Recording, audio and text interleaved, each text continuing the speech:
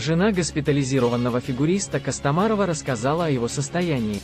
Жена фигуриста Романа Костомарова Оксана Дамнина рассказала РИА Новости о его состоянии. Она сообщила, что после госпитализации ее супруг по-прежнему находится в тяжелом состоянии, он в тяжелом состоянии, пока улучшений нет, но и ухудшений таких, как пишут, Т.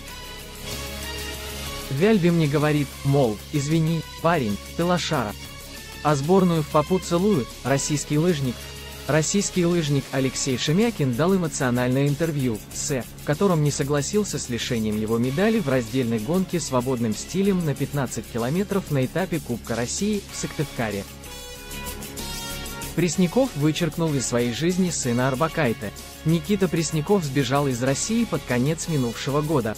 Артист перебрался в США.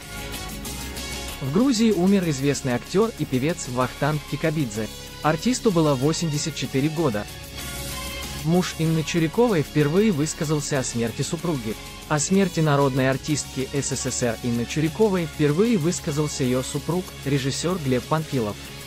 Его цитирует KP, RU, вот так вышло. Никто не ожидал, не сыпьте соль на рану. Очень-очень больно, нет сил это больше выносить, заявил Панфилов в беседе с Жур. В Непале разбился пассажирский самолет с россиянами на борту.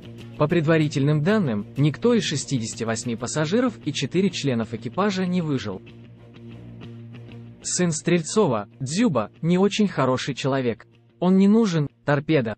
Игорь Стрельцов, сын прославленного советского футболиста Эдуарда Стрельцова, высказался о возможном заключении контракта между нападающим Артемом Дзюбой, торпеда, СМИ, бюджет The Callisto Protocol составил 162 миллиона долларов США, игра не оправдала ожиданий по продажам.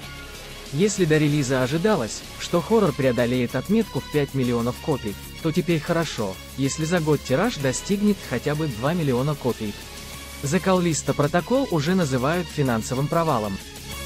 Арестович заявил, что ракету, попавшую в дом в Днепре, сбила ПВО Украины. Мэр Днепра попросил СБУ проверить его слова. Советник Офиса президента Украины Алексей Арестович заявил, что ракету, которая попала в девятиэтажный жилой дом в Днепре, сбили украинские силы ПВО. Об этом он сообщил вечером 14 января в эфире YouTube-программы Марка Фейгина. Видео высказывания Арестовича раз. Это все новости за последний час. Подписывайтесь, чтобы быть в курсе последних новостей. До встречи!